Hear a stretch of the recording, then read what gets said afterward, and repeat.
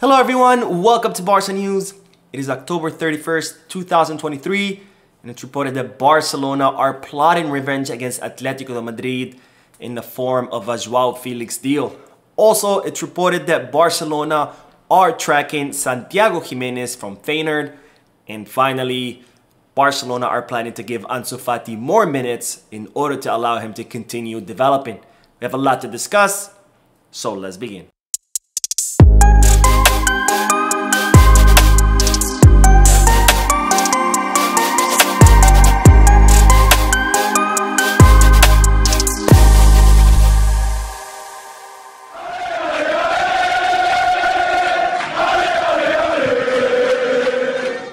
Everyone, welcome to the channel. My name is Mo and before we begin with the news, just a quick reminder to make sure to hit that like button, subscribe to the channel.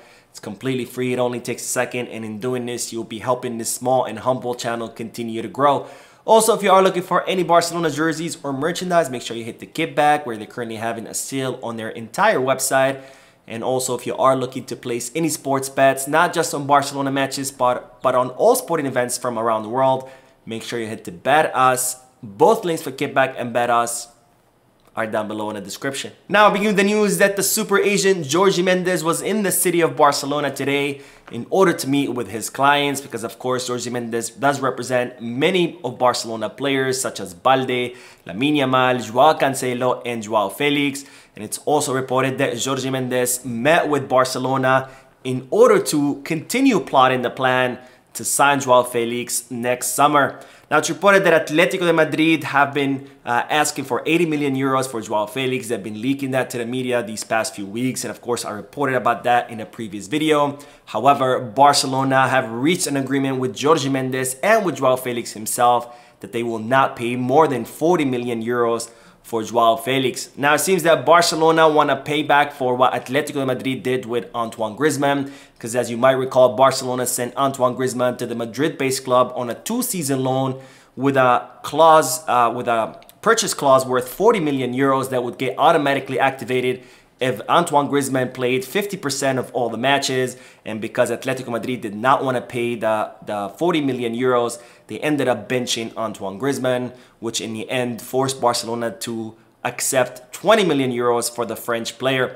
Now it seems that Barcelona want to return the favor to Atletico Madrid with the Joao, uh, with Joao Felix and it seems that the club have agreed with the player that he will reject any offers for loan or permanent transfer to any other clubs and since uh, El Cholo Simeone does not want Joao Felix on his team, the, the fact that Joao Felix will be rejecting any offers could end up forcing the hand of Atletico Madrid to come to the table and reduce their asking price of 80 million euros. Now, it's reported that Barcelona are also considering extending the loan of Joao Felix for another season with an option or an obligation to buy that will be less than the 80 million euros that Atletico Madrid uh, are asking for which in the end could be a good solution because it would give Barcelona more time to collect the money. And also that's another season for Atletico Madrid that they don't have to worry about paying the extremely high salary of Joao Felix.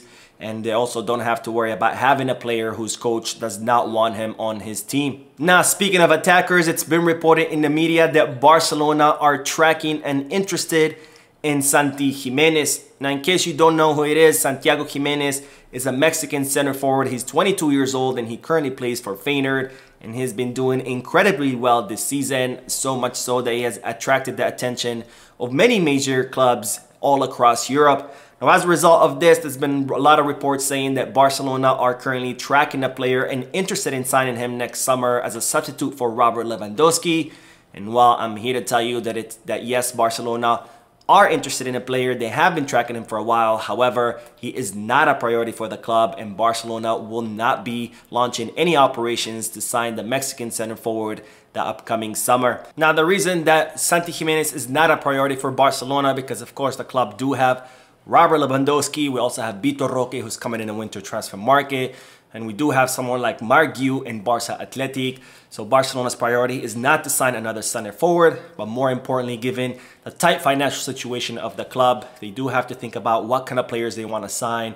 And since the center forward uh, position is covered, Barcelona's priority right now is to sign a pivot next summer because we only have one who's Oriol Romeu and Barcelona need a second pivot And of course, they also need a young pivot because Oriol Romeu um, is at the end of his career or towards the end of his career. So Barcelona need a long-term solution for that position. Now, speaking of young attackers, it's reported that Barcelona are considering giving Ansu Fati more playing time because they believe in the player and they believe that he can recover his previous form.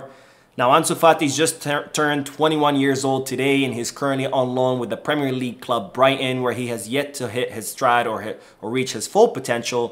And it's reported that Ansu Fati does reach his full potential and then Barcelona are planning to offload him permanently to the Premier League club. However, if Ansu Fati does not live up to his expectation and ends up coming back to Barcelona next summer, it's reported that Barcelona would like to send him out on another loan spell, whether it's to Brighton once again or to a different club because Barcelona want Ansu Fati to continue getting as much playing time as possible because they believe that he can continue developing and he can recover his pre previous uh, previous form before injury because after all, Ansu Fati is still pretty young and he's at that critical age in his career where players mature and start living up to their full potential. Now, as I reported in yesterday's live stream, Lionel Messi won his eighth record Ballon d'Or at the France football ceremony that was held in Paris. And during his acceptance speech, he did speak about Barcelona, calling it the best club in the world and the best team in history, of course, referring to Pep Guardiola's Barcelona.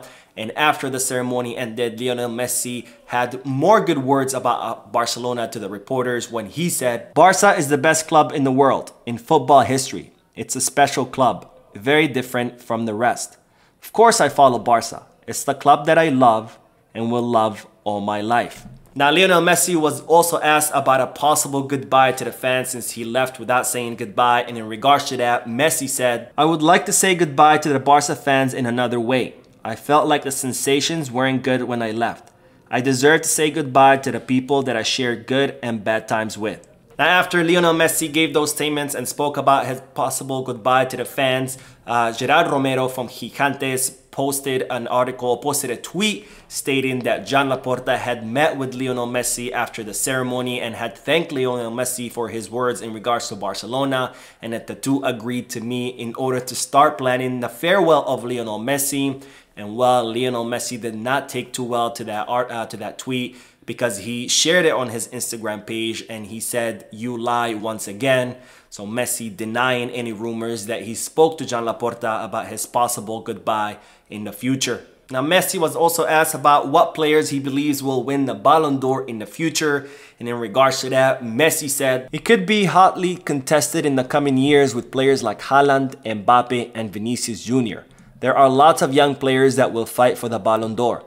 I also think that Lamine Yamal, who is still very young but who has already played very well with Barcelona and has become an important player.